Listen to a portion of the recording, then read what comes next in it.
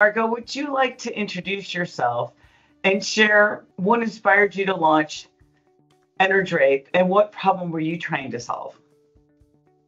Yeah, sure. Uh, thank you again for the invitation. So my name is Margaux Peltier. I'm the CEO and co-founder of Enerdrape. Um, Enerdrape is the Swiss company as well, and we have developed a way um, to basically leverage underground heat, uh, but without any drilling. So that's really a big disruption in the geothermal uh, sector.